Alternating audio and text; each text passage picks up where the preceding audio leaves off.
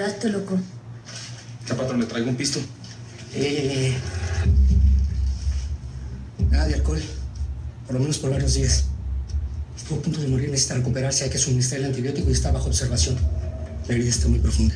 Denle un chorro de lana a estos gatos, hombre. Muchas gracias, Doc. Yo solo hice mi trabajo como médico.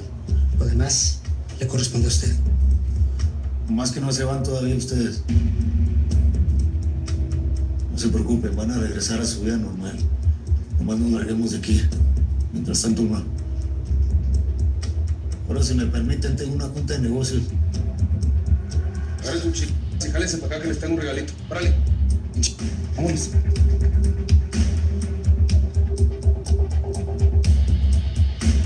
Entonces, ¿qué? ¿Cómo están las cosas? Homie. Se dejaron venir con todo. Y no hemos sabido nada de tu tío. Va a estar bien pelarnos, hombre.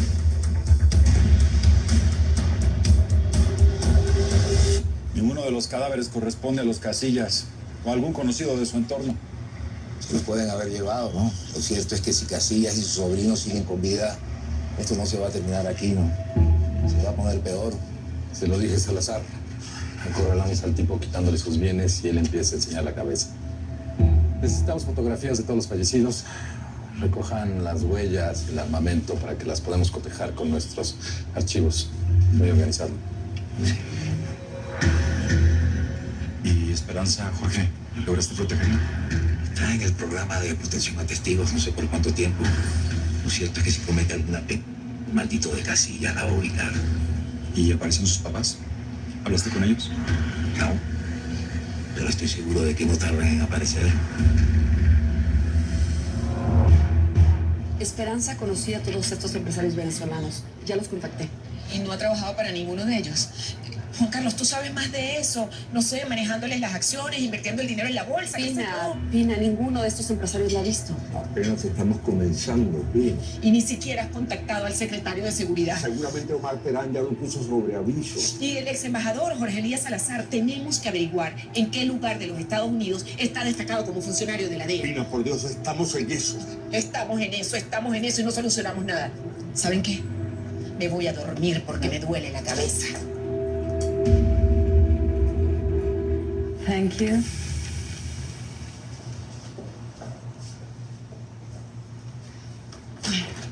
¿Preparada para la mayor de las sorpresas?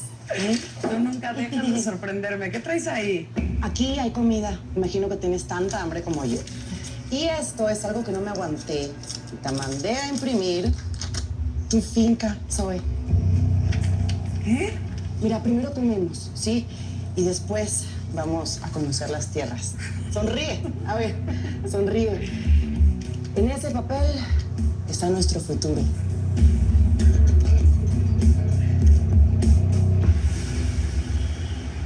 Está bueno, está bueno, así me gusta. Estamos a hablar, pues. Ya pusimos a la venta los aviones, pa. Sí, hijo. Los dejamos bien vara, para que salgan rápido. Eso es todo, amiguito. Ahí vamos, ahí vamos. A ver, les traje algo para que coman. Leí en el Face que el pisto hace menos daño si comen algo. Así que órale, éntrale, tú también, greñitas. Oye, Aurelio, ¿cuándo me vas a enseñar los cuadros? Vamos cuando el Ismael los traiga. Hay que decirle la rutina, mijo. Y al peor es nada ese que trae de novio, que dice que es pintor, que anda en ese medio, no sé, que sirva de algo ese cabrón. Oye, mijo, hay que prepararnos el viaje a La Habana porque pues nos vamos hoy. Vámonos para la casa. No, no. No, mi amor, pero tú no te vas a ir. Te vas a quedar conmigo un ratito, mi amor, por Estaba favor. muy ocupado, ma. Yo no voy a ir a La Habana con mi papá. No es cierto. Tengo que resolver tú este No desmadre. es cierto, mi amor. Lo que pasa es que ya no te interesa estar conmigo. Ay, pues vámonos yendo, greñas, eh, para ir viendo cosas en el camino, ¿no? Vámonos, mijo.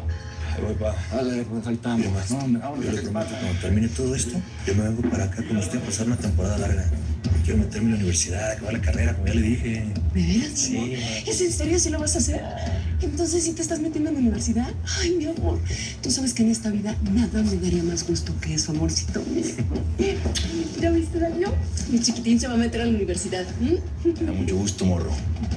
Bueno, pues yo me voy con la ruta y solo los cuadros. Estamos pues. Sí, mi amor. Fíjese, tal vez. Que te vaya muy bien, mi amor. Bendiciones, cuídate mucho, cielo. No quiero ir a mi casa. Quedémonos aquí. Voy a averiguar dónde podemos pasar la noche, ¿ok? La verdad es que no tengo cabeza para nada. No te preocupes por eso, Ruth. Me pérdida de un ser querido es algo que afecta a cualquiera. Es normal que estés así. Y si yo puedo ayudarte a que te olvides un poco de eso, pues puedes confiar en mí.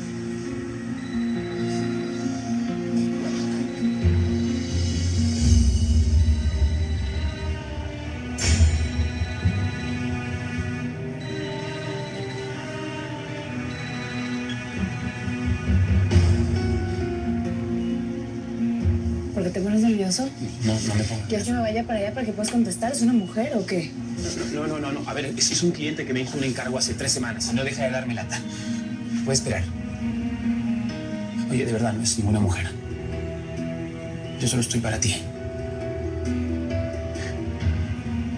Voy a unas cervezas.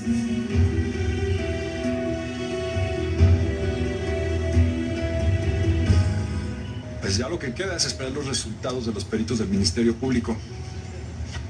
¿Ustedes se van a quedar a esperar aquí o se van a regresar a Los Ángeles? Nos quedamos. Vamos a darle un susto a alguien. Y como no tenemos jurisdicción, te lo tengo que decir. Además, tú también tuviste una relación con ella. Se trata de Rutila Casillas. Estamos haciendo un seguimiento a través de un novio que tiene. Sí, ya, ya sabía lo del seguimiento, pero no tenía idea que tuviera novio. Se llama Sebastián Almagro. Es un joven artista cotizado. ¿Lo ubicas? Sí, sí, he leído sobre él en algunos periódicos, pero no sabía que estuviera involucrado con Rutila. Con ella y con nosotros. Intentó ingresar a Los Ángeles con unos gramos de coca y lo detuvimos. Abrimos un expediente, pero lo dejamos en libertad con la condición de que nos diera información sobre los casillas. Entre ellos, Rutila. Así que, dicho todo esto, tengo que hacer la pregunta de rigor.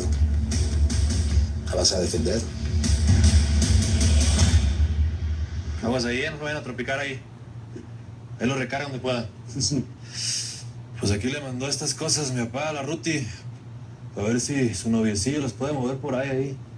Dice que artista, ¿no? Dice que van a pagar un chana por esas cosas. A ver si es cierto. Oiga, güey. ¿y ¿Cómo estuvo eso de que la Ruti se fue así nomás sin guarros? Luego, con este desmadre que tenemos, ¿qué puede? Pues no sé, mi hijo se fue como alma que lleva el diablo.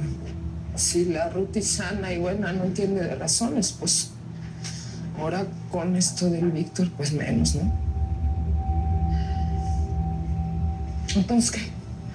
¿No me vas a platicar cómo estuvo el asunto? ¿Por qué no vino tu papá? ¿Eh? ¿Por qué queda, güey?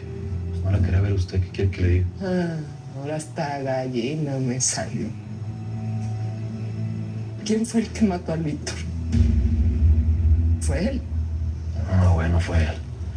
Mi papá nomás lo yo. Aunque se hubiera querido, créeme que lo hubiera matado. Y vengas con sabes que yo ya estoy vieja. El Aurelio pudo haber evitado esto, yo lo sé, pero no, no, ¿verdad? Ahí tenían que estar los dos, midiéndose los tamaños, a ver quién la tiene más larga. ¡Idiota! ¡Pues qué idiota!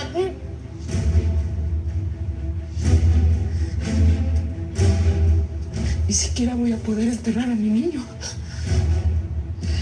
Pues igual cuando las autoridades arreglen todo el desmadre, puede que nos entreguen el cadáver, güey. ¿Tú oíste lo que me estás diciendo? Pues ya sea, güey, ¿por qué quiere que le diga, pues? Todos intentamos que esto no sucediera. Usted habló con él, ¿no? Yo hablé con él, mi jefe habló con él dos veces. ¿Y usted cree que no me agüita? Era mi primo, chi. Pero parece que el Víctor tenía el demonio por dentro. Él se lo buscó, güey. Él se lo buscó.